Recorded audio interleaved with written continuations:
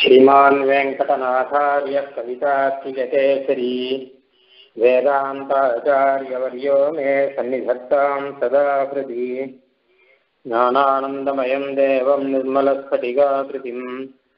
आधारं सर्वविद्यानां हयग्रीवमुपास्महे व्याख्यामुद्रां करधरसिदैः पुस्तकं शङ्खचक्रे। बिभ्रद्भिन्नस्फटिकरिचिरे पुण्डरीके निषण्णः अम्लानस्त्रीरमृतविशदैरंशिभिः प्लावयन् माम् आविर्भूयादनघमहिमा मानसे वागधीशः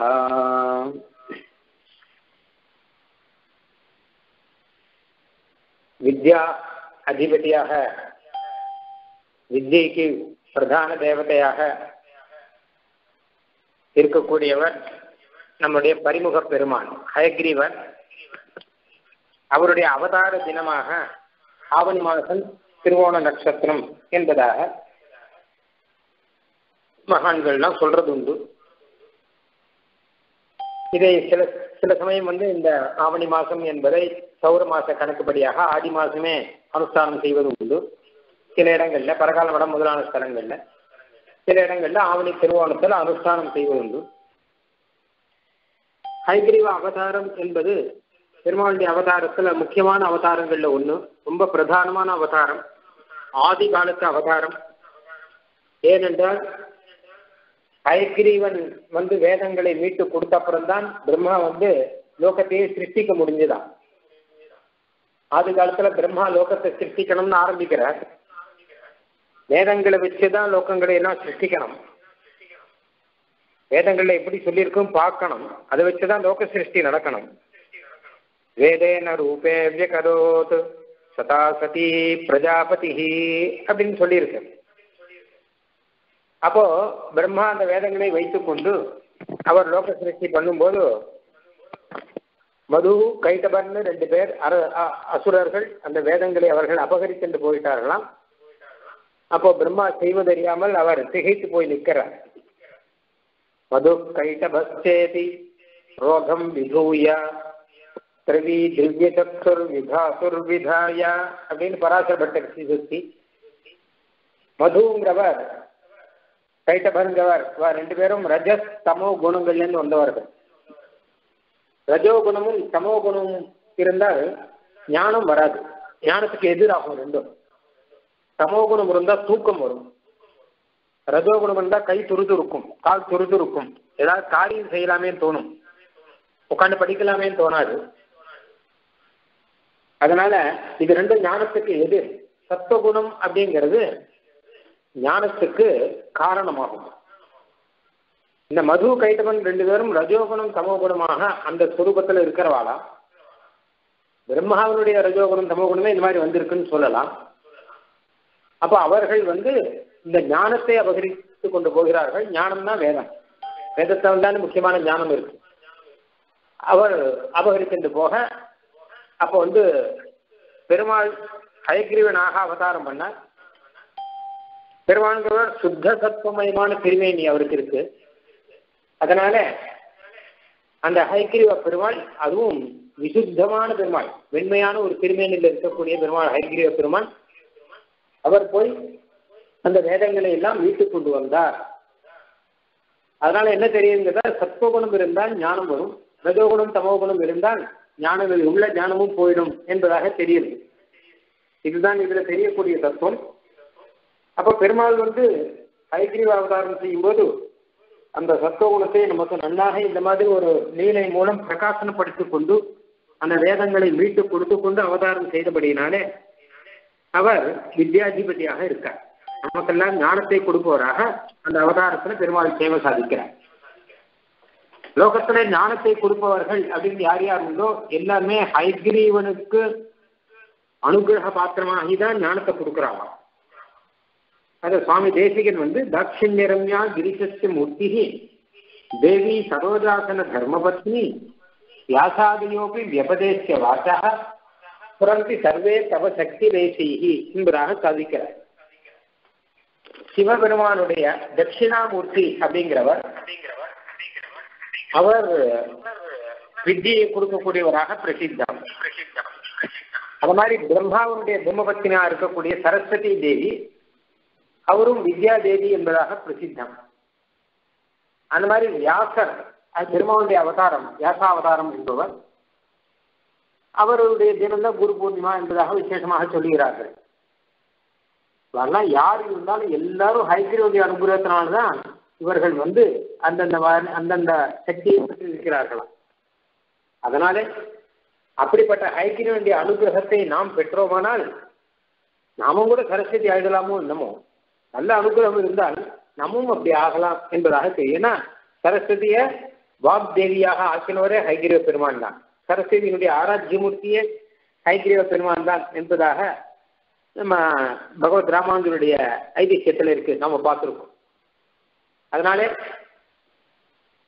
இப்படி விசேஷமான வித்யாதிபதியாக பெருமான் ஹைகிரீவன் எழுந்துள்ளிருக்கிறார் நமக்கு இன்னும் விசேஷமாக சுவாமி தேசிகனுடைய ஆராத்திய மூர்த்தியாக ஹைகிரீவன் எழுந்துள்ளிருக்கிறார் சுவாமி தேசிகன் ஹைகிரீவனை தபஸ் மூலமாக சாட்சா்காரம் பண்ணி ஹைகிரீவனுடைய பரம அனுகிரகத்தை பெற்றுக்கொண்டு சர்வதந்திர சுதந்திரராக எல்லா தந்திரங்களும் தனக்கு கைவர பெற்றவராக விசேஷமாக எழுதியிருந்தார் என்பது அவருடைய ஐதிஹியத்திலே ரொம்ப பிரசித்தமான ஐதிஹியம் இது. துரக வஜன தேஜோ பிரம்மித ஆச்சரிய சக்தி என்பதாக சொல்றார். ஐக்கிரிய கட்டாட்சம் இல்லாமையே தேசியனுக்கு அபாரமான ஞானம் உண்டு. என்ன காரணம் அப்படின்னு கேட்டா நடாதூரமான அனுகிரகம். அப்புள்ளார் அனுகிரகம் இதெல்லாம் இருக்கிறபடினால அபாரமான ஞான சக்தியோடு தான் சுவாமி தேசிகன் எழுந்தெழுந்த விம்சத்தியத்தே விஸ்ருத நானாவித வித்யா அப்படிங்கிறார். என்னென்ன வித்தியை உண்டோ எல்லாம் இருபதாவது திருநட்சத்திரத்தில் மொத்தம் சுவாமி தேசிகனுக்கு நியாயம் மீமாம்சா வியாக்கரணம் பௌத்தம் ஜெயினம் முதலான பூர்வபக்ஷங்கள் அது மாத்திரம் இல்லாமல் நியாயம் மீமாம்சா வியாக்கரணம் முதலான சாஸ்திரங்கள் அது மாத்திரம் இல்லாமல் வேதாந்த சாஸ்திரம் ரகசியார்த்தங்கள் முதலானது. இன்னும் என்னென்ன இருக்கோ மொத்த வித்தியைகளுமே சுவாமி அது மாதிரி ஆகமங்கள் இத்திகாசங்கள் புராணங்கள்னு என்னென்ன இருக்கோ வேதாத்தியனத்திலேருந்து ஆரம்பம் இருக்கு அதிலிருந்து ஆரம்பிச்சு சக்கரவும் தேசியனுடைய கை வசம் வந்திருக்கு. சக்கரமும் தேசிய தத்துவந்தார்னு இல்லை கையில வசம் இருக்கு மொத்தம். அவர் இட்ட வழக்கு தான் மொத்தம் அப்படிதான் கையில வச்சிருந்த ஸோ இப்போ அனுகிரகத்தினால என்ன ஆச்சுன்னா துரக வதன தேஜோ பிரம்மித ஆச்சரிய சக்தி அப்படிங்கிற யாருமே நினைச்சு பார்க்க முடியாத அளவு ரொம்ப ஆச்சரியமான ஒரு சக்தி ஹைகிரனுடைய அனுகிரகத்தினாலே வந்திருக்கு அனாயாசமா வாதத்துல எல்லாரையும் ஜெயிக்கக்கூடிய சக்தி யார் விளையாட்டாக வந்து நான் நான் சில்ப சிற்பி நான் வந்திருக்கேன் என்னை சில்பத்தில் ஜெயிக்க முடியுமா அப்படின்னும் நான் கிணறு கட்டவன் வந்திருக்கேன் என்ன கிணறு கட்டுறதில் ஜெயிக்க முடியுமா அப்படின்னு யார் எந்த கலையை கேட்டுக்கொண்டு வந்தாலும் அந்த கலையெல்லாம் சுவாமி தேசிகன் வந்து அனாயாசமாக கையாளக்கூடிய ஒரு சக்தி. இன்னும் மந்திரவாதங்கள் தந்திரவாதங்கள் என்னென்ன இருக்கோ மொத்தமும் இருக்கு. ஹைகிரீவனுக்கு சமமாக சகல கலைகளும் தேசிகன் கிட்ட இருக்கு இப்போ. அதான் சர்வதந்திர சுதந்திரர் அப்படின்னு திருநாமம். சகல தந்திரங்களும் அவர்கிட்ட வழக்கா இருக்கு. எல்லாத்திலையும் அவர் தான் சுதந்திரர் என்பதாக இருக்கு. இது ஹைகிரீவனுடைய பரம அனுகிரகம். ஏன்னா சகல கலைகளுக்கும் ஹைகிரீவன் தான் ஆதி தேவன் அவன் தான் அதிபதி. அதனால அந்த பெருமாள் அந்த மாதிரி ஏற்பாடு பண்ணாரா?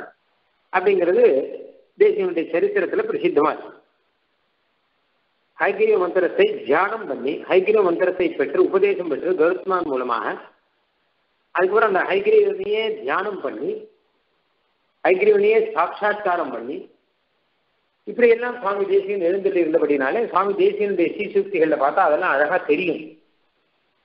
அது மாத்திரம் இல்லாமல் சுவாமி தேசியனுடைய விபவத்திலையும் பல ஹைகிரீவ லீலைகள்லாம் நடந்தது. அதனால இன்னைக்கும் கூட சுவாமி தேசிகன் சந்நிதியில் எழுதி இருக்கிறவங்க முக்கால்வாசி அந்த ஹைகிரீவ் எழுதியிருக்கேன் ரெண்டு பேரையும் சேர்த்தே எழ பண்ணுவாங்க? பொதுவாக பெருமாள் எழுதிருப்பார் பொதுவாக ஆச்சாரிய சந்நிதினா அங்கே ஓரளவு பெருமாள் யாராவது எழுதிருப்பார் அப்போ கோயில்னா கவலை இல்லை. கோயில்னா பெருமாள் இருக்க பெருமாளை சுற்றி ஆச்சாரியர்கள் சன்னதி பிராகாரங்கள்ல முதலான இடங்கள்ல பிராங்கணத்திலேயோ பிராகாரத்திலேயோ ஆச்சாரிய சன்னதிகள்லாம் இருக்கணும் என்பதாக ஆகவங்களில் சொல்லியிருக்கார். அந்த ரீதியில ஆச்சாரியர்கள் சன்னதிகள் இருப்பார் வேற எங்கேயா தனியா ஆச்சாரியனுக்கு சன்னதி இலை பண்ணா கூட அப்போ வந்து பெருமாளை இலை பண்ணுவார் அப்போ அந்த சமயத்துல தேசிகன் சந்நிதியை இலை பண்ணா அப்போ ஹைகிரீவனை இலை பண்ற வழக்கம். அப்படி தேசிகனுக்கு அந்தரங்கமானவர் ஹைகிரீவர் ஹைகிரீவனுக்கு அந்தரங்கமானவர் சுவாமி தேசிகன். விசேஷமான அனுகிரகம் எல்லாம் பண்ணிருக்கார் சிராத்தத்தை நடத்தி கொடுத்திருக்கார். நித்தியமே அவருடைய ஆராதனத்தை எல்லாம் ஏற்றுக்கொண்டிருக்கிறார். அது மாத்திரம் இல்லாமல் ஆராத்திய மூர்த்தி ஹைகிரீவன் சரஸ்வதி தேவி ஆராய்ச்ச மூர்த்தியை சுவாமி தேசிகனுக்கு வந்து எழுதியிருந்தார். இப்படி எல்லாம் நிறைய ஐதிஹ்யங்கள்லாம் இருக்கு. அப்படி சுவாமி தேசிகன் ஹைகிரீவன் கிட்ட விசேஷ ஈடுபாட்டோடு இருந்து அபூர்வ சாதனைகள்லாம் அநேகமாக சாதித்தார் அப்படின்னு பார்க்கிறோம்.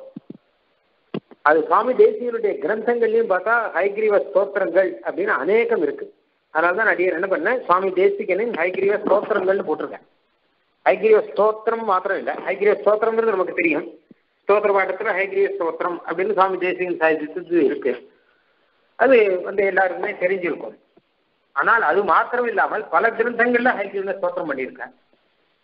குறிப்பாக சததூஷணி அப்படிங்கிற ஒரு கிரந்தத்துல கிட்டத்தட்ட ஒரு பத்து ஸ்லோகம் கிட்டத்தட்ட ஹைகிரீவை பத்தி சாய்ச்சிருக்கேன். சததூஷணிங்கிறது வாதத்துல சுவாமி தேசிகன் வந்து பிரதிவாதிகளெல்லாம் ஜெயித்து அதன் பலனாக வந்த கிரந்தம் அது. நிறைய வாதங்கள் தான் இருக்கு அதுல. ஒன்னாவது வாதம் ரெண்டாவது வாதம் அப்படின்னு அது வாத கிரந்தம் தான் சுவாமி தேசிகனை பொறுத்த வரைக்கும் வாதம் அப்படின்னு சொன்னால் அப்போ சுவாமி தேசிகன் அந்த வாதத்துல ஜெயிக்கிறதுக்கு காரணமே ஹைகிரீவன் தான். ஹைகிரீவன் தான் தேசிகனுடைய ஹிரதயத்துக்குள்ள இருக்க அந்த ஹிரதயத்திலேருந்து பேசுறது ஹைகிரீவன் தான். சுவாமி தேசிகன் வாயில வார்த்தை வருதே தவிர எப்பவுமே வாயில வரக்கூடிய வார்த்தை அப்படிங்கிறது ஹிரதயத்திலேருந்து தானே வரும். ஹிருதயத்துல எது நினைக்கிறோமோ அதுதானே வாயில வார்த்தையாக வருது நமக்கு எல்லாருக்குமே. அதனால உள்ளுக்குள்ள ஹிரதயத்துல இருந்துட்டு ஹைகிரீவன் இருக்கிறபடினால அவருடைய வார்த்தை தான் சுவாமி தேசியனுடைய திருவாக்கில் வருதான்.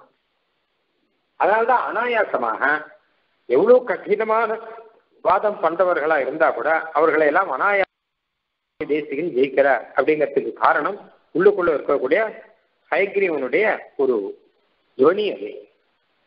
ஹயவதன ஹேஷா கலகலஹா அப்படின்னு சாதிக்கிறார். ஹயக்ரீவனுடைய ஹேஷா அப்படின்னா ஒரு கனைப்புன்னு அர்த்தம். குதிரை பெருமானும் குதிரை பெருமான் ஒரு கனைப்பான் அது. கலகலகான கல கல அப்படின்னு சப்தம். கலகலன் கனைக்கிறது அப்படின்னு ஒரு அர்த்தம். அப்படின்னு பிரிச்சிருக்கா? கல் அப்படின்னா மெய் எழுத்து அகல்னா உயிர் எழுத்து. மெய் எழுத்தும் உயிர் எழுத்துமாக கலந்து சகர அக்ஷரங்களும் ஹைகிரீவனுடைய வாக்கு தான் முதல்ல வந்துதான். அப்படின்னு அதுக்கு தாற்பயம் சொல்றா பெரியவாள்லாம். இப்படி இருந்தாலும் வாதத்துல சுவாமி தேசிகன் வாதத்துல ஜெயிக்கிறதுக்கு காரணம் உள்ள இருந்து ஹைகிரீவன் பேசுறபடினால.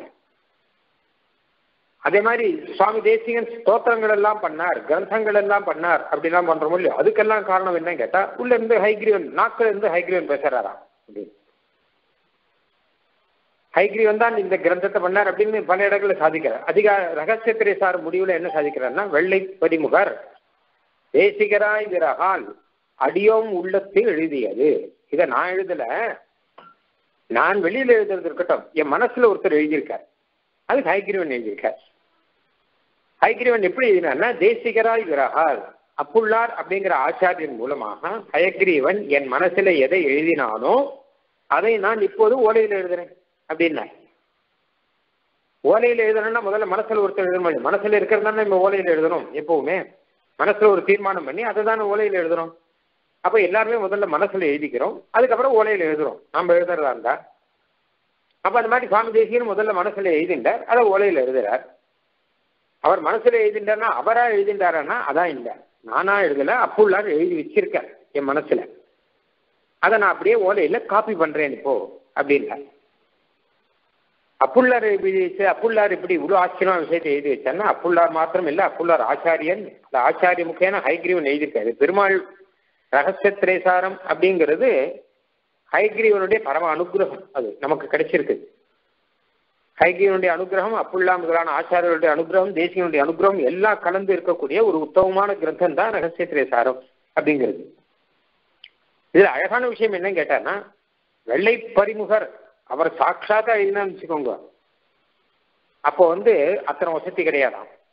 ஏன்னா அது சம்பிரதாயத்துல வரல அப்படின்னு ஆயிடும். இல்லை சம்பிரதாயத்துல வந்தா கூட பெருமானுடைய சம்பிரதாயம் இல்லாமல் வேற ஒரு சம்பிரதாயத்துல வந்து வச்சுக்கோங்க எத்தனையோ சம்பிரதாயம் இருக்கும் இல்லையோ? அந்நிலே நடந்துட்டு இருக்கு நீலே நடந்துட்டு இருக்குன்னு பல சம்பிரதாயங்கள் இப்போ இருக்கும் இல்லையோ? ஆனா நம்ம சம்பிரதாயம் என்ன கேட்டா லக்ஷ்மி நாத சமாரம்பாம் அப்படின்னு பெருமாள் கிட்ட இருந்து ஆரம்பிச்சு வந்திருக்கிற சம்பிரதாயம் இது. அப்படி இல்லாமல் வேற சம்பிரதாயத்தில் வந்திருந்தா அதுவும் பிரயோஜனம் கிடையாது.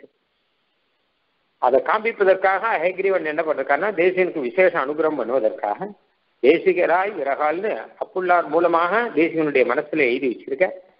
அதை வந்து நான் ரகசிய திரைசாரமாக இப்போ நான் ஓலையில் இட்டனம். யாம். இதற்கு என் இதை நீங்க ஏத்துனா எது ஏத்துக்காட்டா போங்க. அகிரிவன் சாதித்த விஷயம் இது. அப்ப இது வேணும்னா ஏத்துக்கோங்க இல்லாட்டா வேண்டாம். அப்படின்னு அழகா சொல்ற சுவாமி. அதனால ஸ்ரீமத் ரகசிய திரிசாரம் என்பது ஹைகிரீவன் சாதித்தது. அதிகன சாராவளி என்பது ஹைகிரீவன் சாதித்தது சுவாமியே சாதிக்கிறார் தத் பக்தா வாஜி பக்தரா சம சக மம குருபி வாதிகம்சாம் புவாகை. அங்கேயும் இதே விஷயம் தான் சொல்றாரு. இது சொல்றவர் யாருன்னா ஹைகிரீவன் ஹைகிரீவன் சாட்சாத்தா சொல்ல என்னுடைய ஆச்சாரியன் மூலமாக சொல்றார். அங்கே அதிகன சாராவளி. இங்கே ஸ்ரீபாஷ்யத்துலையும் சரி. அது ஸ்ரீபாஷ்யமானாலும் சரி ரகசியத்திரேசாரமானாலும் சரி எதுவானாலும் சரி ஹைகிரீவன் தான் சாதிக்கிறதெல்லாம் ஆச்சாரியன் மூலமாக தான் சாதிக்கிறதெல்லாம். இல்லை சுவாமி தேசிகன் என்னுடைய இதுன்னு எதுவுமே கிடையாதுன்னு மொத்தமுமே. இதில் ஏதாவது சரியில்லை அப்படின்னு தோணிச்சுன்னா அப்போ ஹைகிரீவன் திருவுள்ளத்தை நீங்கள் ஏற்றுக்கலைன்னு அர்த்தம். அவ்வளோதான் இல்லை இந்த சம்பிரதாயத்தை ஏற்றுக்கலை அப்படின்னு அர்த்தம். இது என்ன? மொத்தமே ஹைகிரீவனுடைய திருவுள்ளம் என்பதாகத்தானே சுவாமி தேசிகன் சாதிக்கிறார். அதனால இப்போ எழுதுறதெல்லாம் சுவாமி தேசிகனுடைய ஸ்தோத்திரம் முதலானதெல்லாம் ஹைகிரீவன் மூலமா நடக்கிறது. ஜிஹ்வாக்ர சிம்ஹாசனம் அபியுபேயாஹா அப்படிங்கிற என்னுடைய நாக்கு நுனி இருக்குல்ல அது சிம்ஹாசனம் அந்த சிம்ஹாசனத்துல நீ வந்து உட்காந்துக்கோ என்கிற ஹைகிரீவன் சிம்ஹாசனத்துல வந்து உட்காந்துட்டான்னு வச்சுக்கோங்க. அப்போ வாக்குல ஆச்சரியமான வாக்கு வரும். நல்ல நல்ல வார்த்தைகள்லாம் வருது. அதே மாதிரி வாதத்துல ஜெயிக்கிறது மாத்திரம் இல்ல. இந்த மாதிரி ஆச்சாரிய உபதேசம் பண்ணும்போதெல்லாம் கூட சுவாமி தேசியம் விஷயம் சொல்ற ஹிருத்யா ஹிருத்பத்ம சிம்ஹாசன ரசிக அயக்ரீவ சேஷோர்மி கோஷ க்ஷிப்த பிரத்யர்த்தி திருப்தி ஜெயதி பகுகுணா பங்கி அஸ்மத் குருனாம். நம்ம ஆச்சாரியர்கள் எல்லாருக்குமே ஒரு பெருமை. ஹிருத்பத்ம சிம்ஹாசன ரசிக. அவளுடைய ஹிருதயத்தில் ஹைகிரீவன் எழுதுகிறார் ஹயக்ரீவ. அந்த ஹைகிரீவனுடைய கலைப்பாகத்தானே அவருடைய உபதேசங்கள் எல்லாம் இருக்கு என்பதாக சொல்ற ஆச்சாரியர் பரம்பரையில் எல்லாருமே ஹைகிரீவன் அனுகிரகத்தினாலே அவர்கள் எல்லாம் உபதேசம் செய்தவர்கள் அப்படிங்கிற விஷயத்தை சாதிக்கிறார். இது பல ஆச்சாரியர்கள் விஷயத்துல ஸ்பஷ்டமா தெரியாட்டா கூட அதாவது என்ன கேட்டா இந்த மாதிரி ஐதிஹ்யங்கள்லாம் இல்லாட்டா கூட உண்மை இதுதான். சுவாமி தேசிகன் விஷயத்துல பல ஐதிஹ்யங்கள் மூலமாக இது நமக்கு ஸ்பஷ்டமாக தெரிய வருது. சுவாமி தேசிகன் தபஸ் பண்ணார் ஹைகிரிய சாட்சா்காரம் பெற்றார் அப்படின்னு தெரிய வருது. இப்படி தபஸ் பண்ணி ஹைகிரிய சாட்சா்காரம் பெற்று ஹைகிரியனுடைய பரம அனுகிரகம் பெற்று அதனால விசேஷ சக்தி பெற்று சுவாமி தேசிகன் இந்த ஆச்சாரியால் சொல்லாதது அவர் சொல்லல. அவர் சொன்னதுதான் சொல்றார்.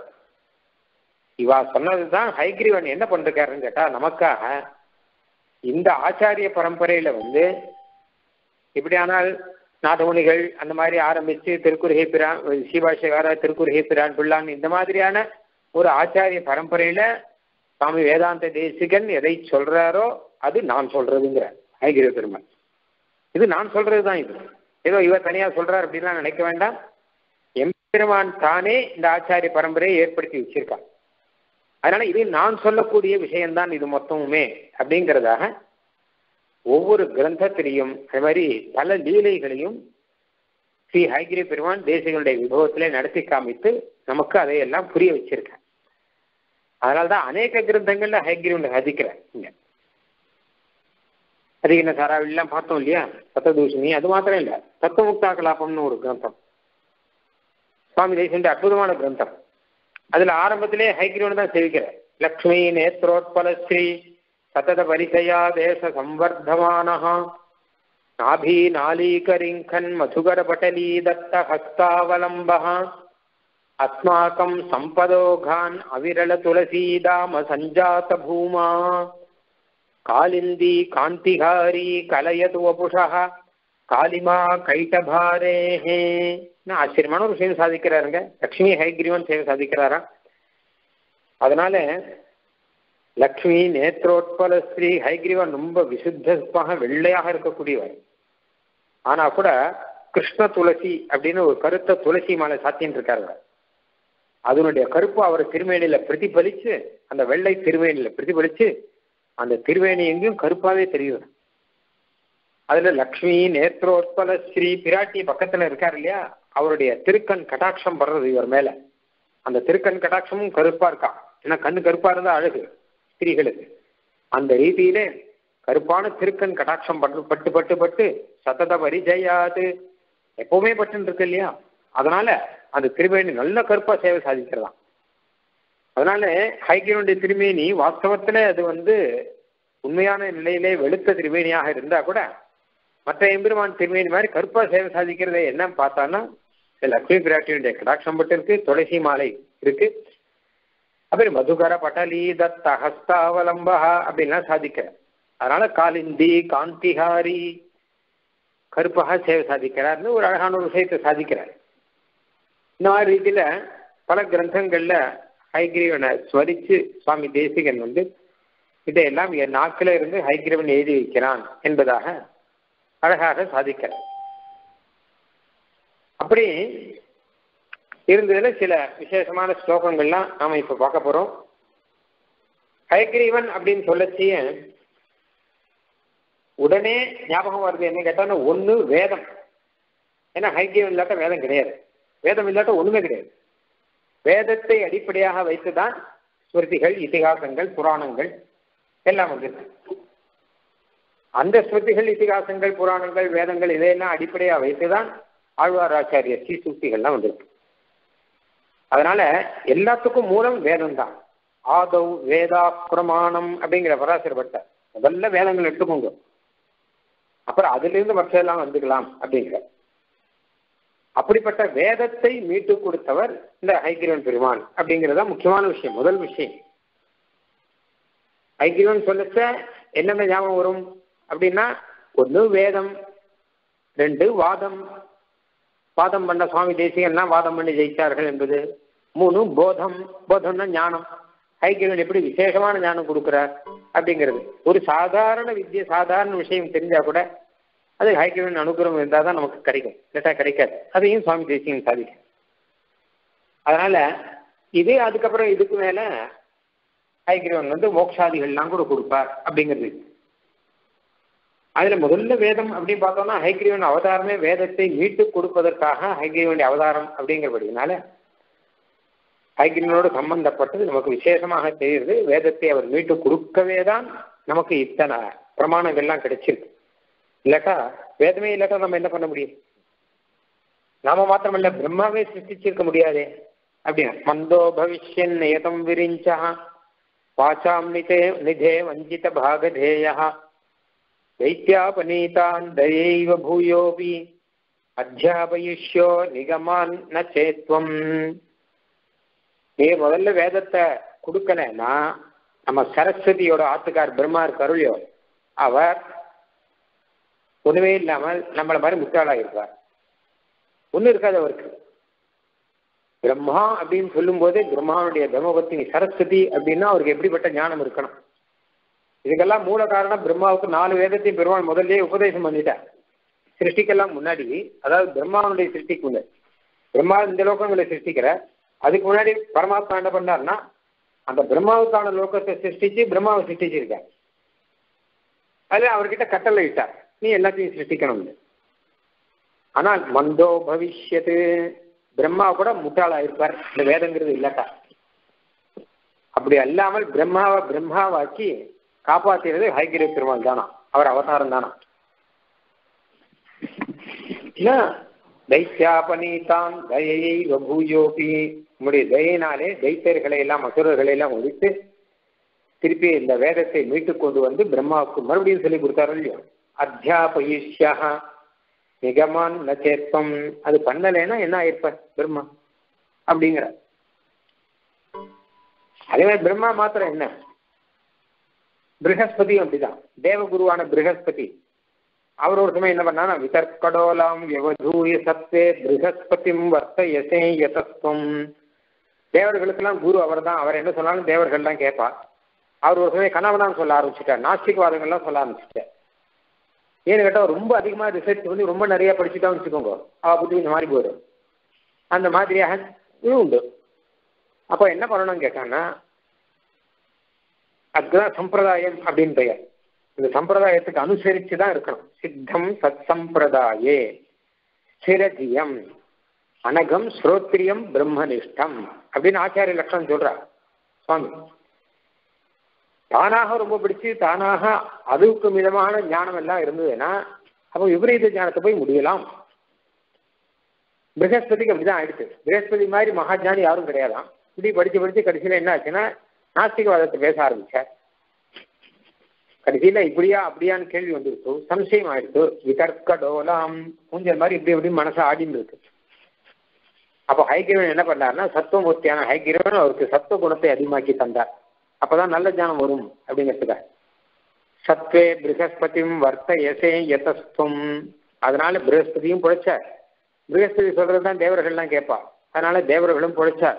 மொத்தமும் போயிடுச்சு எல்லாம் போயிடுச்சு அதனால ஹைகிரீவன் பண்ண விசேஷ அனுகிரகம் இந்த வேதம் மூலமாக. பரிமுகமாய் அருளிய எம் பரமன் காண்மின் அப்படிங்கிறார். ஏன்னா எல்லா இடத்துலையும் அஜ்ஞானம் இருட்டு இருக்கச்ச வேதங்களே இல்லாமல் எல்லாரும் தவிக்கச்ச எம்பெருமானது பரிமுகமாக வந்து அவதாரம் பண்ணி காப்பாற்றி கொடுத்தான் அப்படின்னு இருக்கு. அது மாத்திரம் இல்லை வேதங்களை மீட்டு கொடுத்தான் அப்படிங்கிறது மாத்திரம் இல்லை வேதத்துக்கும் பெருமாளுக்கும் இருக்கக்கூடிய சம்பந்தம் அநேகம். அதாவது முதல் முதல்ல வேதத்தை உபதேசம் பண்ணது யார் அப்படின்னா எம்பெருமான் தான். பிரம்மாவுக்கு அடியிலே வேதத்தை உபதேசம் பண்ணது யார் அப்படின்னா பெருமான் தான். அந்த வேத ஸ்வரூபமாக இருக்கக்கூடியவர் அதாவது வேத தேவதைக்கு அந்தரியாமையா இருக்கக்கூடியவர் யார் அப்படின்னா அவரும் பெருமாள் தான். அந்த வேதத்துக்கு ஆபத்து வந்தபோது வீட்டுக்கு கொடுத்தவர் யார்? ஹைகிரீவ அவதாராதிகள்ல அப்படின்னா அதுவும் பெருமான் தான். வேதத்துக்கு பரம தாத்பரிய விஷயமாக வேத வேத்தியனாக இருக்கக்கூடியவன் யார் அப்படின்னா அதுவும் எம்பெருமான் தான். வேதத்தினால் மட்டும்தான் தெரிந்து கொள்ள முடியும். வேற எதனாலையும் தெரிந்து கொள்ள முடியாது என்கிற ஒரு முழு பெருமை படைத்தவன் யார் அப்படின்னா பெருமாள் வேதத்தினுடைய பரம தாற்பரியாக இருக்கக்கூடியவன் அப்படின்னு அர்த்தம். இப்படியாக பார்த்தோம்னா வேதத்துக்கும் பெருமாளுக்கும் அநேக சம்பந்தம் இருக்கு. கல்ப காலத்திலே வேதங்களை வைத்து ரட்சித்தவன் யார் அப்படின்னா அதுவும் பெருமான் தான். அப்படின்னாரு எல்லாமே வேதங்கிறது பெருமாளுக்கு தான் சொந்தம் அப்படிங்கிற மாதிரி சகல விதமான சம்பந்தமும் இருக்கு பெருமாளுக்கு அதனால பெருமாள் இங்க மீட்டு கொடுத்தார் அப்படின்னா அது ஒன்றும் பெரிய விஷயம் இல்லை. என்ன கேட்டா அவரவர்கள் சொத்தை அவரவர்கள் தானே மீட்டுக்கணும் எப்பவுமே. வேதங்கிறது பெருமாளுடைய சொத்து தானே. இன்னொருத்தருடைய சொத்தை வந்து அவருடைய மீட்டுப்பார். பெருமாளுடைய சொத்து தானே இது. அதனால தன் சொத்தை தானே மீட்டு பெருமாள்கிட்ட திருப்பி கொண்டு வந்து கொடுத்துட்டாராம். यदात्मानो वेद। यदनुगुणवर्णाप्रतिजुषः प्रमाणं प्रमाण नियतमपरिच्छेद्य विभवे। य एषाम् आहर्ता। तनुजमथनो वाजिवदनः स मे देव श्रीमान् विदलयतु सम्मोहमखिलम्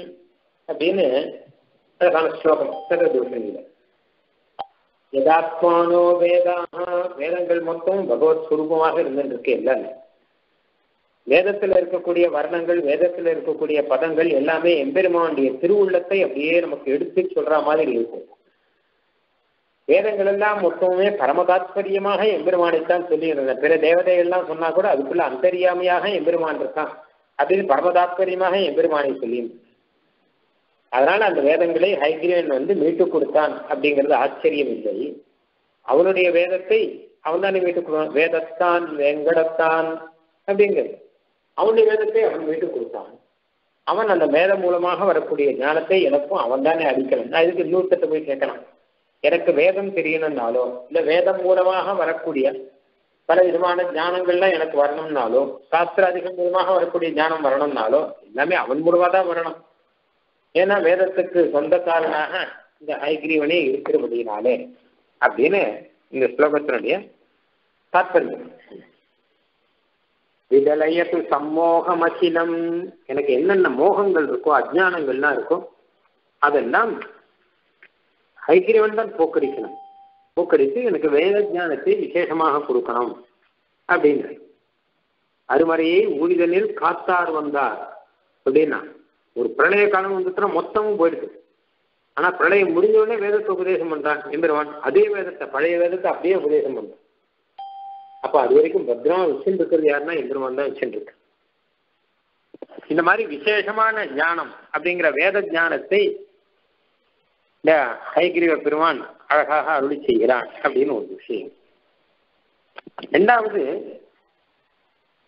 வேதம் மாத்திரம் இல்லை பொதுவாக யாருக்கு எந்த ஞானம் வந்தாலுமே சரி. அது ஹைகிரீவ கடாட்சம் தான். எந்த சாஸ்திரத்திலையோ இல்லை எந்த வித்தியிலையோ எந்த ஞானமோ எது வந்தாலுமே அது ஹைகிரீவனுடைய கடாட்சம் தவிர வேற கிடையாது. எப்படி ஆனால் பிரகஸ்பதிக்கு கிடைச்சதோ அந்த மாதிரியாக பல விதமாக உபதேசம் பண்றானா. அதனால ஞானானந்த மயம் தேவம் நிம்மல ஆதாரம் சர்வ வித்யானாம். ஹைகிரீவம் உபாஸ்மகே சர்வ வித்தியைகள் வேத வேதாந்த வித்தியைகள் மாத்திரம் இல்லாமல் இன்னும் என்னென்ன வித்தியைகள் இருக்கோ மொத்தத்துக்கும் ஆதாரமாக இருக்கக்கூடியவன் எம்பெருமான் ஐகிரிவ பெருமான் என்பதாக தெரியும். எப்படி அப்படின்னு கேட்டா எல்லாத்துக்கும் மூலமான வேதமே அவங்ககிட்ட தான் இருக்கு. வேதத்திலேருந்து மொத்தம் வந்திருக்கு. அப்போ வேதமே அவங்ககிட்ட இருக்கிறபடினால சகல வித்தியைகளுக்குமே ஹைகிரிவன் வந்து அதிபதியாக இருந்து எல்லாருக்கும் சேவை கொடுத்துருக்கான் அப்படி தெரியுது. அப்போ அதுதான் ஹைகிரீவன்ட்ட எல்லாரும் பார்த்துக்க. எனக்கு நல்ல வாக்கு வரணும்னா ஹைகிரீவன்ட்ட கேட்கலாம். திசன் துமே தேவ சதா துதியாக தயா தரங்கானுச்சரா கட்டாட்சாக ஸ்ரோத்ரேஷு பும்சாம் அமிர்தம் க்ஷரந்தீம் சரஸ்வதியும் சம்ஸ்கிருத காமதேனும். நான் ஒரு விஷயம் சொல்ல போறேன். இந்த விஷயம் எல்லாருடைய காதுகளிலும் மதுரமாக இருக்கணும். எல்லாரும் கேட்டு சந்தோஷிக்கணும் அப்படின்னா அப்ப இந்த ஸ்லோகத்தை முதல்ல சொல்லுவான். ஐகிரிவனே உன்னுடைய கடாட்சம் தான் எனக்கு அப்படி மாதிரி வாக்கு எல்லாம் கொடுக்கணும். என்னுடைய வாக்கை கேட்டு எல்லாரும் ஆனந்திக்கும்படியாக என்னுடைய வாக்கானது எல்லாருடைய காதலியும் அமிர்தம் மாதிரி பொழியணும். அதுக்கு நீர்தான் கடாட்சம் பண்ணணும் என்பதாக ஹைகிரிவன்கிட்ட தான் பிரார்த்திக்கிறார்கள். இல்ல.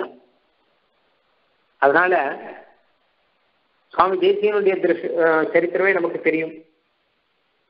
யார் யார் என்னென்ன போட்டிக்கு கூட்டா கூட சுவாமி தேசிகன் வந்து ஹைகிரிய கடாட்சத்தினாலே அனாயாசமா ஜெயிக்கிற சில்ப சாஸ்திரம் தெரியுமா அதுக்கப்புறம் கண்ணர் கிணறு வட்டை தெரியுமா? அப்படின்னா இதெல்லாம் மேலோட்டமா பார்த்தா கதையா இருக்கும்.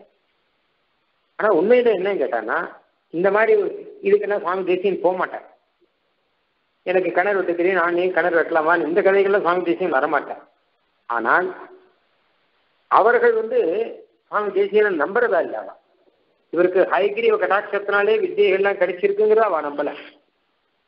ஒரு சிற்பின்னு ஒருத்தர் வந்தார்னா அவர் எத்தனையோ வருஷம் கஷ்டப்பட்டு சிற்ப சாஸ்திரத்தை எல்லாம் படிச்சு சிற்பி ஆயிருக்கார். ஒருத்தன் கிணறு வெட்டுறான்னா திடீர்னு அவனுக்கு அந்த சாதுரியங்கள்லாம் வந்துடாதே அவன் எத்தனையோ ஒரு பத்து வருஷமாக அதுல இருக்கக்கூடிய நெளிவு எல்லாம் கத்துண்டு அவன் கிணறு எடுக்கிறான். இன்னும் கிணறு எடுக்கிறது ரொம்ப கஷ்டம். ஏன்னா மனசு மண் மறுபடியும் தெரிஞ்சிடும் அப்படி இல்லாமல் கிணறு எடுக்கணும். அப்படின்னா இவர்கள்லாம் அந்தந்த மாதிரி பரிசிரமப்பட்டு அந்தந்த வித்தியில நைபுண்ணியத்தை சம்பாதித்திருக்கிறார்கள் ஆனா திடீர்னு ஒருத்தர் வந்தார். இவர் நம்ம கூட பேசவும் இல்லை நம்ம கூட படிக்கவும் இல்லை நம்ம கூட இருந்து பரிச்சயப்படவும் இல்லை. ஒரு ட்ரைனிங் கிடையாது ஒரு எக்ஸ்பீரியன்ஸ் கிடையாது ஒன்றும் கிடையாது.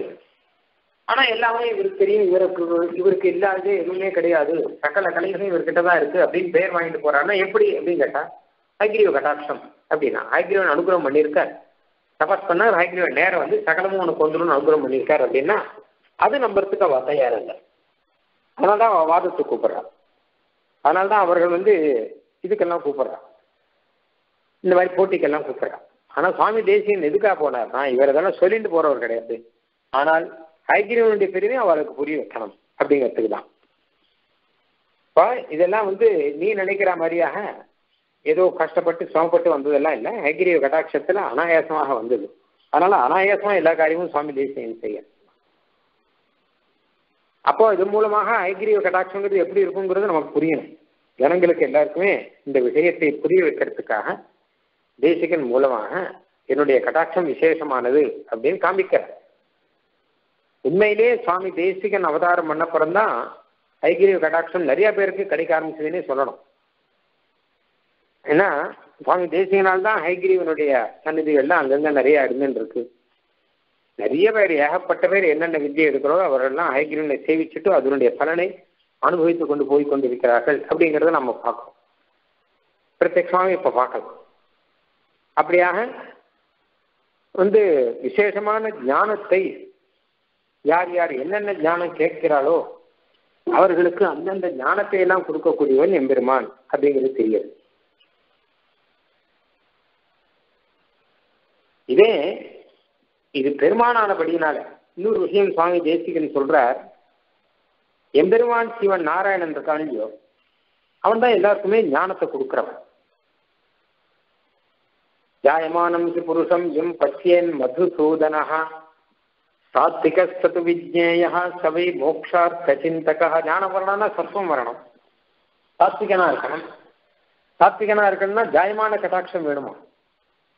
பிறக்கும் போதே எம்பெருவான் கடாட்சம் பண்ணுவானா அந்த ஹைகிரிவ பெருமான் பிறக்கும் போதே யாருக்கு கடாட்சம் பண்றானோ அவன் தான் சாத்விகனாக ஞானவானாக இருப்பான். கட்டாது அவன் சரியா வராது. அதனால எப்பவுமே ஞானத்தை கொடுக்கறது பெருமான் தானே. வேதத்தை கொடுத்தது பெருமான் தான். இத்திகாச சாஸ்திரங்களை எல்லாம் பிரவர்த்தனம் பண்ணது பெருமான் தான். ஆழ்வார்களை அவதரம் பண்ணி திவ்ய புரங்கத்தை பிரவர்த்தனம் பண்ணது பெருமான் தான். அதனால எல்லாம் அவர் தான் வச்சிருக்க பகவத்கீதை உபதேசம் பண்ணது யாரு? அதுவும் பெருமான் தான். அதனால எல்லாமே இந்த ஞானம்ங்கிறது பெருமான் மூலமா தான் வந்திருக்கு. அப்படின்னு தானே நம்ம பார்த்துக்கோம் ஞானத்தில் முக்கியமானது இந்த வேதங்கள் அதுக்கப்புறம் வந்து பகவத்கீதை முதலானது அதுக்கப்புறம் ஸ்ரீமத் ராமாயணம் மகாபாரதம் முதலானது அதுக்கப்புறம் ஸ்ரீபாஞ்சராத்திரம் இது எல்லாமே அதுக்கப்புறம் ஆழ்வார் ஆச்சாரிய சுத்தி இது எல்லாமே பெருமாள் தான் பண்ணி வச்சிருக்காரு மொத்தமுமே.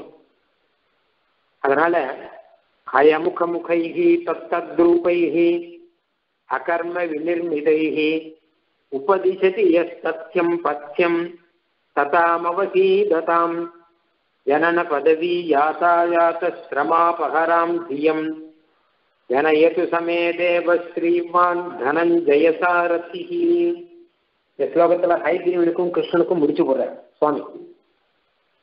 முத முதல்ல ஞானத்தை கொடுத்தவன் ஹைகிரீவன் பிரம்மாவுக்கே. அடுத்தது நமக்கு கடைசியா பெருமாள் ஞானத்தை கொடுத்தார் அப்படின்னா கிருஷ்ணாவதாரத்திலே பகவான் கிருஷ்ணன் வந்து பகவத்கீதை உபதேசம் பண்ணான் அப்படிங்கிறது தான் கடைசி. அதுக்கு முன்னாடி நிறைய புராணங்கள்லாம் வந்திருக்கு. ஸ்ரீ வராக பெருமான் வராக புராணத்தை உபதேசம் பண்ணார். அதுக்கப்புறம் மத்ய அவதார பெருமாள் வந்து மத்ய புராணத்தை உபதேசம் பண்ணார் அப்படின்னு இருக்கு இன்னும் நடுவில் ஆழ்வார்கள் ஆச்சாரியர் மூலமாக பிரவர்த்தனம் பண்ணார். இதெல்லாம் இருக்கு. பின்னாடி. அந்த சாட்சாத்தா எம்பெருமான் இது பண்ணார் அப்படின்னா ஹைகிரீவன் ஆரம்பிக்கிறோம் இந்த கிருஷ்ணன் பார்க்கணும். பகவத்கீதை உபதேசம் பண்ணிருக்கான் இப்படி ஞான உபதேசம் பண்ணி ஞான பிரவர்த்தனம் பண்றதையே தன்னுடைய காரியமாக வைத்துக் கொண்டிருக்கிறவன் சத்துவமூர்த்தியான எம்பெருமான் ஸ்ரீமன் நாராயணன். மற்ற தேவதேவர்கிட்ட இதெல்லாம் எதிர்பார்க்க முடியாது. இவ்வளவு தூரம்லாம் எதிர்பார்க்க முடியாது. இது ஓரளவு எதிர்பார்க்கலாம் அவ்வளவுதான். வேற ஏதாவது பலனை இல்லைன்னா கேட்டா கொடுப்பாளா இருக்கும். குழந்தை இல்லைன்னா குழந்தை கொடுப்பான். ஐஸ்வர்யம் வேணும்னா ஐஸ்வர்யம் கொடுப்பான். இந்த மாதிரிலாம் கொடுப்பான். ஞானத்தை கொடுக்கறதையே ஒரு முக்கியமான காரியமாக வச்சிருந்தேன் விஜான விஸ்ராணன பத்த தீட்சம் அப்படிங்கிறது. ஞானத்தை கொடுத்துருவேன். அப்படின்னு இதுக்கே சங்கல்பம் பண்ணிட்டே ஹைகிருவன் அவதாரமா. பிரம்மாவுக்கு மாத்திரம் இல்லை இனிமேல் யார் யார் என்னென்ன ஞானம் கேட்கிறாளோ அவளுக்கெல்லாம் அந்த ஞானத்தை கொடுக்கணும். விசுத்த விஜான கனஸ்வரூபம். விஜான விஸ்ராணன பத்த தீட்சம் தயாநிதிம். கொடுக்கறன்னா யாருக்கு எந்த ஞானம் வேணா கொடுக்கறான்னா ரெண்டு வேணும். ஒன்று கொடுக்கறதுக்கு அவர்கிட்ட இருக்கணும். ரெண்டு கொடுக்கறதுக்கான மனசு இருக்கணும். கொடுக்கறதுக்கு அவர்கிட்ட ஞானம் இருக்கான்னு கேட்டா விசுத்த விஜான கனஸ்வரூபம் அப்படிங்கிற அவரே ஞானானந்த ஸ்வரூபமா இருக்க அது மாத்திரம் இல்லாமல் சர்வஜனா இருக்க அதுக்கப்புறம் கொடுக்கறதுக்கான மனசு இருக்கான்னு கேட்டா தயாநிதிம் அப்படிங்கிற ஹைகிரீவன் அப்படிங்கிறவர்.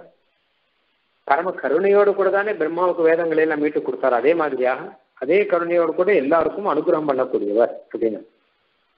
அதனால இப்படி வேதங்களை கொடுத்ததோடு மட்டுமல்லாமல் ஞானங்களையும் எம்பெருமான் கொடுக்கக்கூடிய ஞானப்பிரதமான அவதாரங்கள் அநேகம் உண்டு.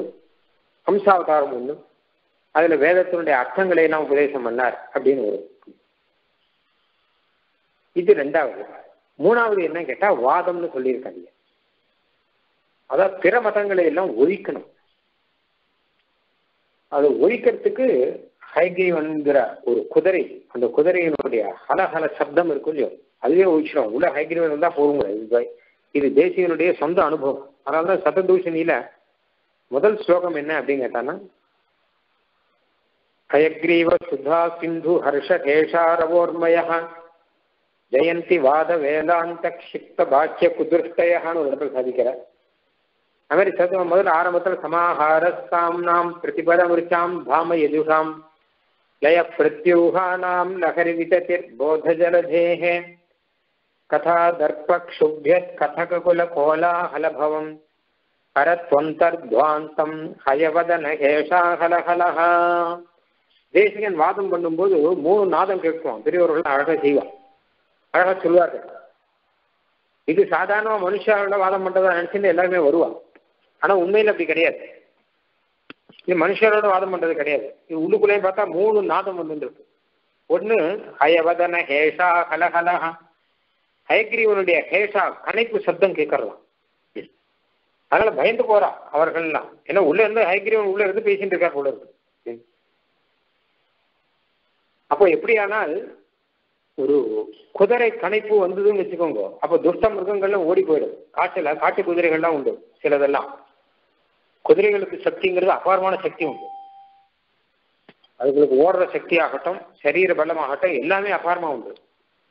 இப்போ காட்டில் இருக்கக்கூடிய சின்ன சின்ன மிருகங்கள்லாம் குதிரை கணப்பு சத்தத்தை கேட்ட உடனே எப்படி ஓடி போயிடுமோ எப்படி யுத்தத்தில் இருக்கக்கூடிய வீரர்கள்லாம் பெரிய குதிரையோட சத்தத்தை கேட்டாலே பயந்து நடுங்குவாளோ அந்த மாதிரி சுவாமி தேசியின் வாதத்தை கேட்டால் எல்லாரும் நடுங்கினாள்னா உள்ள ஹைகிரீவனுடைய இதை சப்தம் கதா தர்ப்பா நாங்கள் தான் வாதம் பண்ணுவோன்னு அகங்காரத்தோடு வர. கதக கோலாகலபவம் கோலாகலபம் பண்ற கோலாகலங்கள்லாம் இருக்கும் இல்லையோ? அதில் மொத்தத்தையும் ஒழிச்சுடுவார்.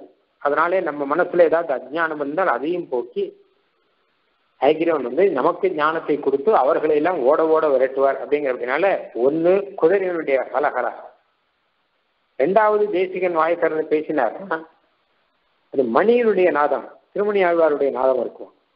என்னன்னா மொய் விழங்கலைகள் மொய்த்தொடு நாவின் முழக்கொடு வாதியர் வர கைத்தவன் அப்படிங்கிற. அந்த நாக்குருடைய முழக்கம் இருக்கே. அது எப்படின்னா கண்டாநாதம் அப்படிங்கிறது அசுரர்களை எல்லாம் விரட்டி பக்தர்களுக்கெல்லாம் ஆனந்தத்தை கொடுக்கும் அப்படின்னு ஆகவத்தில் சொல்றாங்க. வித்ராசினி விபுதவைரி வரு நாம் அப்படின்னு சுவாமி தேசிகனும் சொல்றாரு. அதனால திருவாராம் பண்ணும்போது வண்டி சத்தம் கேட்டு வச்சுக்கோங்க. பக்கத்துல துஷ்ட துஷ்ட தேவதைகள் துஷ்ட கிரகங்கள்லாம் என்னென்ன இருக்கோ நம்மளை பிடிச்சிக்கணும்னு சொல்லிட்டு என்னென்ன துஷ்ட கிரகங்கள்லாம் காத்துட்டு எல்லாம் ஓடி போயிடும். அதனால ஆற்றுல மணி அடிச்சு திருவாரணம் பண்ணாலே போகிறோம் நம்ம நிம்மமாக க்ஷேமமா இருக்கலாம். அப்படி அந்த கண்டாநாதத்துக்கு அந்த சக்தி உண்டு. அந்த கண்டாவதாரமானபடினால இவருடைய நாதம் இருக்கும் இல்லையோ? இதுவும் திருவேங்கடமுடியானுடைய கண்டாநாதம் மாதிரி ஆச்சரியமாக கேட்கிறபடினால அதுல பயந்து போறார் எல்லாரும். மூணாவது சிம்மநாதம் கண்டேசயேஷ கவிதார்த்திக சிம்மநாதா அப்படிங்கிறது. எப்படியானா நரசிம்ம பெருமானுடைய நாதம் இருக்கும் இல்லையோ முதல்ல அவருடைய சிரிப்பு சப்தம் கேட்டுதான். அதை கேட்ட உடனே அசுரர்கள்லாம் பயந்து போயிட்டாலாம் கிரண்யகசிபுவை சேர்ந்தவர்கள்லாம். அந்த மாதிரியாக ஒரு அட்டகாசமான ஒரு சிரிப்பு உண்டு. அந்த மாதிரியான சுவாமி தேசிகனுடைய வாக்கில் இந்த மூணு நாதமும் சேர்ந்து வரும். இவர் கவிதார்த்திக சிம்மமானபடினாலே அவர் நரசிம்மம் இவரும் நரசிம்மம் தான் ஏன்னா நரனாக அவதாரம் எடுத்த சிம்மம் இவரும் தான் அதனால அது கவிதார்த்திக சிம்மங்கிற ஒரு நரசிம்மங்கிற ஒரு ஒண்ணு. அந்த ரீதியில அந்த சிம்மநாதம் எப்படி ஆனா அசுரர்களை விரட்டித்தோ அந்த மாதிரி இந்த சிம்மநாதம் இங்கே பிரதிவாதிகளை சுலபமாக விரட்டும். இப்படி மூணு நாதம் இருக்கு. இதுல ஹைகிரீவனுடைய நாதத்தினாலே இந்த வேதங்கள்லாம் இருக்கிறபடினா ஹைகிரீவனாலே வேதம் தான் இந்த வேதங்கள்லாம் இருக்கிறபடினால தேசியின் சீசுக்திகள்ல வேதங்கள்லாம் அப்படியே வேத அர்த்தங்கள்லாம் வருது. சமாஹார சாம்னாம் சாமங்கள்லாம் சேர்ந்துருக்கு. பிரதிபத ரிச்சாம் ராம யஜுஷாம் லய பிரத்யூகானாம் ருக்வேதம் யஜுர்வேதம் சாமவேதம்னு வேத மந்திரங்கள் இதெல்லாம். மந்திரங்கள் என்னென்ன இருக்கோ மொத்தமும் ஹைகிரியுடைய திருமையில இருக்கு எல்லாமே. எல்லாம் ஹைகிரியுடைய நாதத்துல மொத்தமும் அடக்கமா இருக்கு. அப்படிப்பட்ட ஹைகிரீவன் தேசிக நாட்டில் வந்து உட்காந்துருக்கான் அதனால்தான் வேதார்த்தங்கள் மொத்தமுமே ஆச்சரியமாக இங்க வந்துட்டு இருக்கு மாதிரி வேதம் என்ன வாதம் என்ன? இது ரெண்டுமே அழகா நடக்கிறது. சுவாமி தேசியனுடைய சீசுக்திகள்ல இந்த ஹைகிரீவனுடைய நாதங்கள் எல்லாம் பிரதிபலித்து கொண்டிருக்கின்றன அப்படிங்கிறதையும் நாம அழகாக பார்க்கிறோம். அதனால யாருக்கு எங்க வாதம் பண்ணணும்னாலும் சரி இந்த ஹைகிரீவ சோத்திரத்தை சொல்லிட்டு போனா போதும். ஒரு இடத்துல போறோம் நம்ம மீட்டிங்ல அழகா பேசணும் அப்படின்னு நினைச்சுட்டோம் என்ன பேச போறோமோ என்னவோ தெரியல எப்படி நடக்க போறதோ அப்படின்னா ஹைகிரீவ சோத்திரத்தை சொல்லிட்டு போனோம்னா அப்போ வாக்கும் அர்த்தமும் சித்திச்சிடும் சுவாமி. வாகர்த்த சித்தி ஹேதோஹோ பட்டத ஹயக்ரீவ சம்ஸ்கிருதிம் பக்தியா அப்படிங்கிற ஐக்கிய ஸ்லோகம் படிச்சுக்கோங்க. உங்களுக்கு வாக்கும் அர்த்தமும் சித்திக்கும் பேசணும்னா வாக்கு வேணும் அர்த்தம் வேணும். ரெண்டும் வேணும் இல்லையோ? வெறும் வாக்கு பேசினா போறாது. அர்த்தத்தோட பேசணும். வெறும் அர்த்தம் வேணா சில பேருக்கு நல்லா இருக்கும். ஆனா வாக்குனால சொல்ல தெரியாது. சில பேருக்கு நிறைய ஐடியாலாம் இருக்கும். நிறைய விஷயங்கள்லாம் தெரியும். ஆனா வாக்குனால எப்படி சொல்லணும் அப்படிங்கறது அவளுக்கு தெரியாது. அவ சொல்றதுல மொத்த பேரும் குழப்பி விட்டுருவா. சில பேருக்கு அழகா பேச தெரியும். ஆனால் அவருக்கு தெரிஞ்ச அளவு அர்த்தங்கள்லாம் விஷயங்கள்லாம் இவருக்கு தெரிஞ்சிருக்காது. இவர் சொல்றது அழகாக தான் இருக்கு. ஆனால் விஷயங்கள்லாம் எல்லாம் தெரிஞ்ச விஷயமா தான் இருக்கு அப்படின்னுவா. அப்படிலாம் இல்லாமல் வாக்கு அர்த்தம் ரெண்டுமே சித்திக்கணுமா? ரெண்டு சித்திக்கணும்னா ஹைக்கிரன் சித்திக்கணுங்க ஏன்னா அர்த்தம்னா இப்போ அர்த்த ஞானம் இது. வாக்கு மாத்திரம் இல்லை. வாக்கு ஞானம். அப்படி வச்சுப்போம். ஞானமும் வேணும் வாக்கும் வேணும். ரெண்டும் வேணும் இல்லையா? தெரிஞ்சிருக்கணும் சொல்லவும் சொல்லணும் அப்படின்ற சொல்லி. அதனால வாகர்த்த சித்தி ஹேதோஹோ வர்ணம்னா பட்டத ஹயக்ரீவ சம்ஸ்கிருதி பக்தியா. அதனால ஹயக்ரீவ ஸ்தோத்திரத்தை ரொம்ப பக்தியோட நம்ம சேவித்தோமானால் பாராயணம் பண்ணோமானால் படித்தோமானால் போதும். ஹயக்ரீவனுடைய அனுகிரகம் நமக்கு பரிபூர்ணமாக கிடைக்கும் என்பதாக சாதிக்கிறார். விசேஷ விட்பாரிஷதேஷு நாத விதக்த கோஷ்டி சமராங்கனேஷு ஜிகீஷதோ மே கவிதார்க்கிகேந்திரான் ஜிஹ்வாக்ர சிம்ஹாசனம் அப்ஜிபேயாக நான் சபைக்கு போகிறேன் விசேஷமா பேசணும். அதனால என் நாட்கள் நீ வந்து உட்காந்துக்கோன்னு பிரார்த்திக்கிற ஸ்லோகம். இதை நிறைய பேர் சொல்லுவான் நிறைய கேள்விப்பட்டிருக்கேன். அதனால நல்ல ஞானம் வரும் நல்ல வாக்கு வரும். இதெல்லாம் வச்சு சுவாமி தேசியம் சதந்தூஷன்ல ஒரு ஸ்லோகம் ஒன்று சாதிச்சிருக்கேன் அபாதாத்யக்ஷ பிரபுதிமிதி வர்க்கியஸ்வதிருதம் சரீரம் எஸ்யேதம் ஜகதகிலம் அந்தரியமைது சமேதர்க்கைரேதை निजविभवलुण्टाकमथनैः பிரசீதத்வாசீதன்னிகமசதசீமா ஹயமுகா அப்படின்னு ஸ்லோகம் யார் யார் என்னென்ன தர்க்கவாதங்கள்லாம் என்ன வேணா பண்ணட்டும் தர்க்கவாதம் பண்ணி அவள் என்ன பண்றா அப்படின்னு கேட்டான் அவ என்ன பண்ணுவா எல்லாத்தையும் அபகரிப்பாள் எதை ஹரி அபகரிப்பாள் அப்படின்னா ஒன்றும் ஞானத்தை அபகரிப்பார் இல்லை பிரமாணங்களான வேதத்தை அபகரிப்பார் வேதத்துக்கெல்லாம் வேற ஏதோ அர்த்தம் சொல்லுவா அப்படி இல்லாட்டாலும் இந்த லோகத்தையே அபகரிப்பார்கள் அதாவது பிரம்மா பரமாத்மாவுக்கு சொந்தமான லோகமே பொய் அப்படிலாம் சொல்லுவா. இதை வேணா அபகரிச்சுன்னு போட்டவா தர்க்கவாதம் பண்றபடினாலே வேதமே பொய்ன்னு சொல்லுவா. தர்க்கவாதம் பண்றபடினாலே எம்பெருமான பொய்யின்னுவா தர்க்கவாதம் பண்றபடினாலே எம்பெருமானுக்கு சொந்தமான இந்த உபய விபூதி கொள்ளு இதெல்லாம் எல்லாமே பொய் அப்படின்வா இதெல்லாம் வெறும் தர்க்கத்தை வச்சுன்னு வாதம் பண்ணும்போது இதெல்லாம் போய் முடியும் கடைசியில. ஆனால் ஐக்கியனை பத்தி தெரிஞ்சுட்டு என்ன சொல்றா அப்படின்னு கேட்டான்னா வேதமா? அது ஹைகிரீவனுக்கு சொந்தமாச்சே அப்படிங்கிற. லோகமா? அது எம்பெருமானுக்கு சொந்தமாச்சே. அவன் தானே இதை சிருஷ்டித்து அவன் தானே அந்தரியாமையாக இருக்கான் அப்படின்னா லோகம் சத்தியமா அப்படின்னு கேட்டா ஆமா சத்தியம் தான் நேர பார்த்தா அப்படிதானே தெரியுது. சத்தியமா தான் தெரியும் பொய்யா தெரியுதே. நேர பார்த்தா லோகம் சத்தியமா தெரியுது. வேதமும் லோகத்து சத்தியம் அப்படின்னு தான் சொல்றது. அப்படிங்கிறதுலாம் இதுக்கு பொய்ன்னு சொல்லுவானே அதனால நிஜ விபவ லுண்டாக்க மதனைஹி பெருமானுடைய விபவத்தை மறைக்கக்கூடிய தர்க்கம். பெருமாளுடைய விபவத்தை அப்படியே அபகரிச்சுன்னு போறதான் தர்க்க திருடின்னு போற மாதிரி திருடின்னு போயிட்டு இருக்கான். அதையெல்லாம் மீட்டு கொண்டு வர சொல்லணும்னா ஹைகிரீவனால் தான் முடியும். நமக்கு பகவானுடைய எப்படியானா வேதத்தை மீட்டு கொடுத்தானோ அந்த மாதிரி அவர்கள்லாம் தர்க்கவாதம் பண்ணி அபகரிச்சுட்டு போறாளாம். அந்த தற்காலம் பண்ணி அவர்கள் எம்பெருமானுடைய விபூதியும் நம்மளுடைய ஞானத்தையும் எல்லாத்தையும் அபகரிச்சுன்னு போனா அதெல்லாம் மீட்டு கொண்டு வரத்துக்கு ஹைகிரீவனுடைய இது தேவையாது.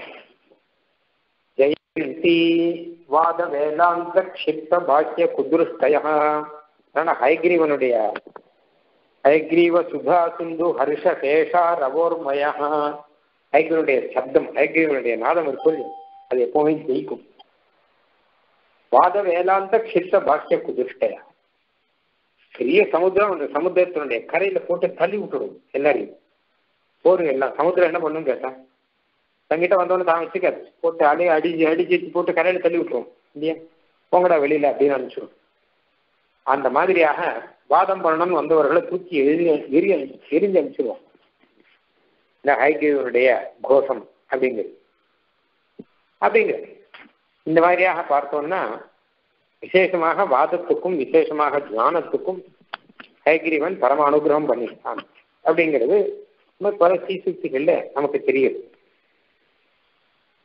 அதுக்கப்புறம் என்ன கேட்டா சுவாமி தேசியன் அனுபவங்கிறது நிறைய இருக்கு.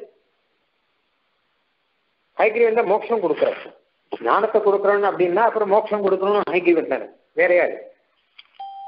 அதனால நமஸ்கிரேதா விபக்தானாம் ஆத்மனாம் அந்தராத்மனே பிரம்மனே ஹயவக்ராய பந்த மோக்ஷைக ஹேதவே அப்படின்னு ஒரு ஸ்லோகம் சத்விஷயம் தான் சாதிக்கிறேன் எல்லாருக்குள்ளேயும் அந்தரியாமையா இருந்து பந்தத்தை கொடுக்கணும் ஹைகிரீவன் தான் மோட்சத்தை கொடுக்கணும் ஹைகிரீவன் தான் தயாளுர் தேவோசௌ துரக வதனஹா தாரயதுனஹா பரம தயாளுவா இருக்கக்கூடிய ஹைகிரீவன் தான் எங்களை இந்த சம்சாரத்திலிருந்து எங்களுக்கு விமோசனங்கள்லாம் கொடுக்க வேணும் அப்படின்னு பிரார்த்திக்கிற ஒரு ஸ்லோகம் இருக்கு. யுகத்தை எல்லாம் சிருஷ்டிச்சவன் தான் சிருஷ்டிச்சவன் அவன் அவனுக்கு சொந்தமானது அவன் தான் எங்களுக்கு ஞானத்தையும் கொடுக்கணும் அப்படின்னு. எப்பவுமே என்னுடைய மனசுல அவன் சந்நிதி இருக்கணும். அக்ரிவன் எப்பவுமே இங்கேயே இருக்கணும். அப்படி இப்படி எல்லாம் பல இடத்துல பிரார்த்திக்கிறார். அதுவும் சுவாமி தேசிகன் ஸ்லோகங்கள்ல சொல்லும்போது வேறொரு விஷயம் தெரிஞ்சது இவர் தியானம் பண்ணார். ஐகிரீவ மந்திரத்தை எல்லாம் இவர் உபதேசம் பெற்றார். அதுவும் கருத்வான் கிட்ட உபதேசம் பெற்றுக்கிறார். ஒரு தேவதை வந்து உபதேசம் பண்ணி கொடுக்குறார். அந்த ஹைகிரீவ மந்திரத்தை வச்சுண்டு ஜெபம் பண்ணி ஒரு ஹைகிரீவ மூர்த்தியை தியானம் பண்றார். அந்த தியானம் பண்றத பல இடங்கள்ல சாதிக்கிறார். இப்படி எல்லாம் தியானம் பண்றேன். சஞ்சிந்தயாமி அப்படிங்கலாம் சொல்ற சித்தே கரோமி. மனசில் மனசுல எப்பவும் வச்சுருக்கு ஸ்பிரிதாட்சமாலம் சவ்யேதரம் நாதகரம் துதீயம். என்னுடைய மனசுல வச்சுருக்கேன் விபாவையே தேவ சபுஸ்தகந்தே வாமம் கரம் தட்சிணம் ஆசிரிதானாம். விபாவையே என் மனசுல எப்பவுமே நான் பாவனை பண்ணிட்டு இருக்கேன் எப்பவுமே சிந்தனை பண்ணிட்டு இருக்கேன் எப்பவுமே தியானம் பண்ணிட்டு இருக்கேன் அப்படின்னு அர்த்தம். நிஷாமையே துவாம் நவபுண்டரீகே சரட்கணே சந்திரமிவ ஸ்புரந்தம். நான் என்னுடைய மனக்கண்ணாலே எப்பவுமே பார்த்துட்டு இருக்கேன் அப்படின்னு அர்த்தம். வியாக்கியான முத்ரா மதுரம் கரந்தே. செஞ்சித்தியாவ ஸ்லோகத்தில் சொல்றாரு. ஐக்கியனுடைய திருமையில எப்படி ஆனால் வியாக்கியான முத்ரா இருக்கோ எப்படி ஆனால் கையில புஸ்தகம் இருக்கோ இது ஒன்று ஒன்றாக சொல்லி சொல்லி இதையே தான் நான் மனசுல எப்பவுமே நினைத்து கொண்டிருக்கேன் இதே தான் எப்பவும் மனசுல நினைச்சுட்டு இருக்கேன் அப்படின்னு சுவாமி ஜெய்சிங்கன் தியானம் பண்ணது சொல்றதுக்கே ஐக்கிய ஸ்லோகத்துல ஒரு நாலஞ்சு ஸ்லோகம் இருக்கு. நான் இப்படி எல்லாம் இல்லை இப்படி எல்லாம் ஐக்கியனுடைய திருமேனியை சொல்லி அதை தியானம் பண்றேன் அப்படிங்கிறார் கடைசியில் தான் ஒட்டு மொத்தமாக சேர்த்து நமக்கு சௌரியத்துக்காக எம்பெருமான் ஹைகிரீவனுடைய திருமேனியனுடைய அழகை அழகா வியாக்கியா முத்ராம் அப்படின்னு ஸ்லோகத்தில் சாதிக்கிறார். வியாக்கியா முத்ராம் கரசரசி ஜெய்ஹி புஸ்தகம் சங்கச்சக்கரே ஒரு கையில வியாக்கியா முத்ரா இன்னொரு திருக்கையில பார்த்தோம்னா புஸ்தகம் வச்சுருக்க ஹைகிரிவனே வித்யாதேவனானபடினாலே ஹைகிரிவனே புஸ்தகம் வச்சுன்னு காமிச்சிருக்கார் நமக்கு. அப்புறம் சங்கச்சக்கரம் அப்படி அம்லான ஸ்ரீஹி அமிர்த விசதைஹி அம்சுபி பிளாவயன்மாம் ஆவிர் பூயாத் அனக மகிமா மானசே எங்களுடைய மனசுல ஹைகிரிவருடைய இந்த திருமேனியானது எப்பவுமே இருக்கணும். நித்திய சந்நிதி பண்ணவன். சந்நிதி சந்நிதத்தாம் அப்படிங்கிற மாதிரி ஒரு இடத்துல சொல்றார். ஹைகிரி சந்நிதி சந்நிதின்னு வரும். அதாவது என்ன கேட்டானா அவிதித்த பகுபூமா நித்தியம் அந்தர்விதத்தாம் ஹயவர வதனோசௌ சந்நிதி சந்நிதின்னஹா அப்படின்னு வரும். ரெண்டு அர்த்தம் சந்நிதி சன்னி சந்நிதினா சத்துக்களுடைய நிதி. ரொம்ப மகான்களான ஆச்சாரியர்கள் கல்யோ அவர்களுடைய நிதி எம்பெருமானா ஹைகிரீவன் தான். தஸ்மை நமோ மது ஜிதங்கிரி சரோஜ தத்வன் ஒரு நாதமுனிகளை பற்றி சொல்லிச்சு நாதமுனிகள் ஹைகிரீவன் கிட்ட ரொம்ப ஈடுபாட்டோட இருந்தார். ஹைகிரீவன் திருவடியிலே ஈடுபட்டு கொண்டிருந்தார். அதான் மகான்களுடைய நிதியா இருக்கக்கூடிய ஹைகிரீவன் அவன் சந்நிதி எங்களுடைய மனசுல எப்பவுமே சந்நிதினா பக்கத்துல வந்து இருக்கணும் அப்படின்னு அர்த்தம். மனசுல வந்து எப்பவுமே வந்து இருக்கணும். நல்ல ஆதி காலத்துல ஞானத்தை கொடுக்கிறவன் ஹைகிரீவன் வேதத்துல அது மாத்திரம் இல்லாமல் ஒரு குழந்தை பிறக்கும் போதே ஹைகிரீவ கடாட்சத்தோட பிறந்தால் அது நல்ல ஞானத்தோட இருக்கும். மேன்னூத்தருடைய வேற யாரோ கடாட்சம் வந்தா அதுக்கேற்ற மாதிரி ஞானம் தான் வரும். யார் கடாட்சம் பண்றாங்கிறது முக்கியம். பிறக்கக்கூடிய குழந்தையை எந்த தேவதையை கடாட்சம் பண்றார் அம்மா அப்பாலாம் எந்த தேவத்தை கடாட்சம் வேணும்னு அந்த குழந்தைக்குன்னு வேண்டிக்கிறார் ஐகிரிய கடாட்சம் வேணும்னு வேண்டிக்கோங்க. வேண்டுட்டா அந்த குழந்தை நன்னாக்குமா விசேஷமாக ஞானத்தோடு கூட இருக்குமா? அந்த மாதிரியாக அப்படிப்பட்ட ஹைகிரீவனை நமக்கு எடுத்து சொல்லி சுவாமி தேசிகன் ஹயகிரிவனையே சிந்தை பண்ணி சிந்தை பண்ணி துவாம் சிந்தையன்னு தொன்மயதாம் பிரபன்னா துவாம் உத்கிருணன்னு சப்தமயேன தாம்னா அப்படிங்கிறார். மொத்தமே துவாம் துவாம் தான். உன்னையே தான் நினைச்சுட்டு இருக்கேன் எப்பவுமே. சுவாமேவ சிந்தையன்னு. வேற சிந்தை கிடையாது. ஹகிரனே குறித்து தியானம் பண்றவர். அதுக்கப்புறம் முடிச்சப்பறம் கூட எப்பவுமே ஹகிரனை தான் தியானம் பண்ணிருக்கார் சுவாமி சிந்தையன்னு தொன்மயதாம் பிரபன்னா கடைசியில் ஹைகிரனாவே ஆயிட்டான். சுவாமி தேசிகன். ஹைகிரீவன் வேற தேசிகன் வேற ஹைகிரன் திருமணி பார்த்தா எப்படி இருக்கோ அப்படிதான் தேசிகன் திருமணி இருக்கு. வியாக்கியா முத்ராம் கரசரசி தேகி புஸ்தகம் சங்கச்சக்கரே அப்படிதான் தேசிகன் இருக்கேன். வியாக்கியா முத்திரை வச்சுருக்க புஸ்தகங்கள் எல்லாம் வச்சுருக்க நமக்கு விசேஷமாக தே தேசிகன் சேவை சாதிக்கிறார். ஹைகிரீவ அவதாரமே தான் அப்படிங்கிறத நமக்கு ஸ்பஷ்டமா திருவேணியில கூட காமிக்கிறார் சுவாமி. அதான் ஒருத்தர் ஹைகிரீவனை சிந்திச்சுட்டே இருந்தா ஹைக்கியமயனா தானே ஆகணும் இதுல. சுவாம் உத்கிரணன்னு சப்தமயேன தாம்னா இதை பேசச்ச யார் பேசுறார் அப்படின்னா சிந்திக்கச்ச ஹைகிரீவனை சிந்திக்கிறார். பேசச்ச யார் பேசுறாருன்னா அப்பவும் ஹைகிரீவனை தான் பேசிட்டு இருக்கேன் எப்பவுமே. ஹைகிரேடு வைபவம் தவிர வேற கிடையாது. சுவாமின்னு சமாஜேஷு சமேதிஜீய ஸ்வச்சந்த வாதாகவ பத்த சூரஹா அப்படி இருக்கும்போது தேசியனோட வாதத்தை கூப்பிடா எல்லாரும். இவர் மனசுக்குள்ள இருக்கிறது ஹைகிரீவன் தான். இவர் வாயை திறந்து பேசினா ஹைகிரீவன் பேசுறது தான். அவரை போய் வாதத்தை கூட்டா ஹைகிரீவனையே சாட்சாத்தான் வாதத்துக்கு கூட்டதா அர்த்தம். இந்த விஷயம் தெரியாமல் அவர் வாதத்துக்கு கூட்டு பரிபவப்பட்டவர்கள் அநேகம் பேர். ஸ்ரீரங்கத்துல காஞ்சிபுரத்துல சுவாமி தேசிகன் நம்ம சம்பிரதாயத்துக்காக அவர்களை எல்லாம் வென்று இந்த அர்த்தங்களை எல்லாம் சாதித்து கொடுத்தார் அப்படின்னு குரு பரம்பரையில அழகா சொல்றது சுவாமின் சமாஜேஷு சமேதிஷீய ஸ்வச்சந்தவாதாகவ பத்தசூரः ध्रुवं तवानाथ परिग्रहायाः நவம் நவம் பாத்திரமகம் தயாயாக அதனால ஹயக்ரீவ தயா பாத்திரம் அப்படின்னு சொன்ன வச்சுக்கோங்க சுவாமி தேசியம் தான் முதல்ல வந்து நிற்பார். ஹயக்ரீவனுடைய தேசிய பாத்திரமாகி சுருக்கமாக சொன்னோம்னா ஹயக்ரீவனே நம்ம சம்பிரதாயத்தை காப்பாற்றுவதற்காக சுவாமி தேசிகனை தேர்ந்தெடுத்து ஒரு விசேஷமான சில லீலைகள் எல்லாம் செய்தருளினான் அப்படிங்கிறது இதுல இருந்து தெரியுது அதனால சுவாமி தேசிகன் ஹைக்கியனை பற்றி ஒரு இடத்துல ரெண்டு இடத்துல இல்லாமல் பல இடங்கள்ல பல விதமாக சாதித்திருக்கிறதும் நமக்கு பல விதமாக உபயோகப்படுறது. யார் யார் எப்பப்போ எதை எதை அனுசந்தானம் பண்ணோம் அப்பப்போ அதையெல்லாம் அனுசந்தானம் பண்ணுறா எல்லாத்துக்கும் மேலே சுருக்கமாக தேசிகன் தான் குறித்து தபஸ் பண்ணல நாமளாம் வந்து தபஸ்லாம் ஒன்றும் பண்ண முடியாது அம்மால. எங்கே தபஸ் பண்ணுறது நம்ம? இல்லை ஹைகிரீவ மந்திரத்தை தான் உட்காந்து ஒரு நாளைக்கு ஆயிரத்தெட்டு வாட்டி ஹைகிரீவ மந்திரத்தை வேற எதுவும் சிந்தை இல்லாமல் ஜபம் பண்ணி அதாவது பண்ண முடியுமா அப்படின்னா எதுவுமே பண்ண முடியாது நமக்கு. அதுக்காக தான் நமக்காக தான் சுவாமி தேசிகன் வந்து ஹைகிரீவ ஸ்லோகத்தையே கொடுத்துருக்கார். பட்டத்தான் ஹயக்ரீவ சம்ஸ்கிருதி பக்தியா? அப்படிங்க. சிலர்லாம் இல்லாட்டா பரவாயில்ல. ஐக்கியவன் கிட்ட பக்தியோடு கூட ஐக்கிய ஸ்தோத்திரத்தை கையில் புத்தகம் வச்சுன்னு படித்தா கூட போடும் வேற எதுவும் பண்ண வேண்டாம் ஐக்கியனுடைய கடாட்சம் தானாக வரும். ஏன்னு கேட்டான்னா தயாசி.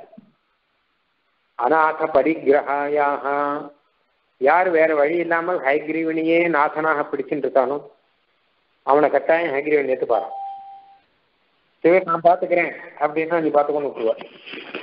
உனக்கு என்ன ஞான சக்தி இருக்கோ அது மூலமாக நீ பார்த்துக்கோ.